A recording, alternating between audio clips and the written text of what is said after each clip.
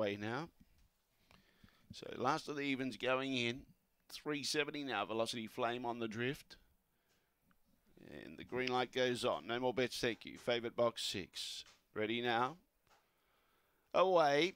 Began okay, is trying to muster across, but got squeezed up and hit the deck. It's out of action. Winlock McGregor got the lead. Megalomaniac also began well, comes across with it. Getting up on the inside was Bashful Cloud, following those through, starting to run on, but bumping into runners was Calgaridge Kid and Hayride Rowan. Then in turn, the others, Baudelaire and Filthy Phantom out the back. In front, Winlock McGregor. Winlock McGregor is going to win. Second, I think Megalomaniac just in front of Kilgaridge Kid.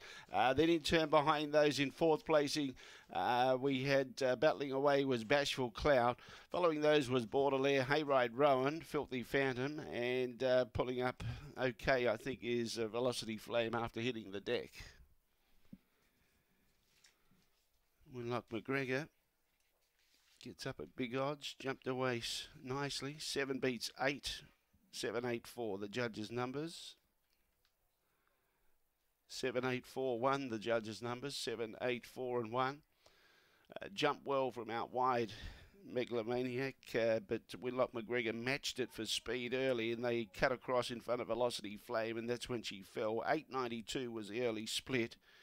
23.42 was the time. The run home was 14.50 but a good jump out wide. The both of those come across together, and that's where Velocity Flame got squeezed out of it. Bashful Cloud copped the check with that as well. Mustered quickly to get into third placing, and then copped the check running into that second turn, bumping into Megalomaniac. And in the meantime, Calgridge Kid made the move around.